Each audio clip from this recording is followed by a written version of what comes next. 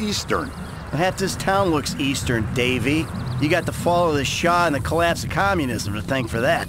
Anyone stand out? No, they all kind of blend in. Make a call, Dave.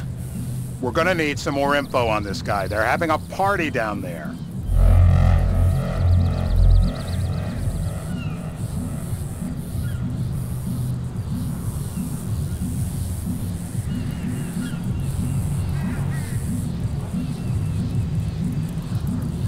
We need this intel.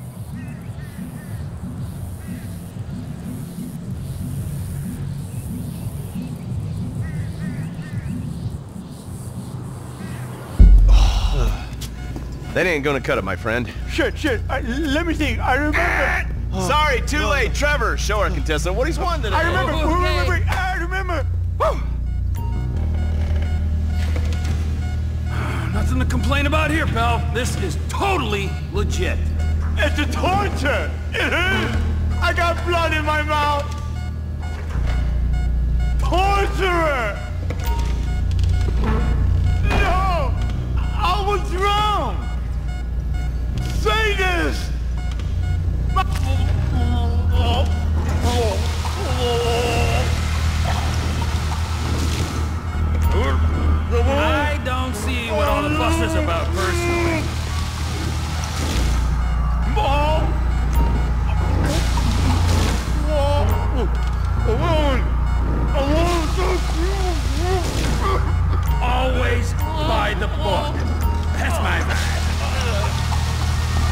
I know it's legal, but he can still drown.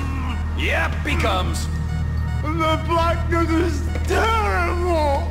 The government knows what's best for you. Then the government should kill me! So what have you got for us? Hmm? We need Trev to shake up your memory again? No, no, no, no, no, no, no, please. No, no, please. no, Oh, he's got beard. he's got beard? He's got Gucci beard. Uh-huh. No. I think you're making this up. No, no, I'm not. Huh? No. Yeah? I'm telling the truth. Bushy beard? Got any beardy types at this party? Huh? Because that's all Mr. K's given us. No. You know, I'm thinking maybe we ought to just take two bullets and put them in our Please, informant no. and just call an airstrike on Chumash Beach. Get out the scope. Who am I looking for? Steve saying beard. What do you got? Anything specific, or is some stubble gun? Michael, what the fuck is wrong with you? What, I had my eyes on a target. Listen, anyone in that joint's got as much chance of being a threat to national security as the next guy. Steve, it's blown.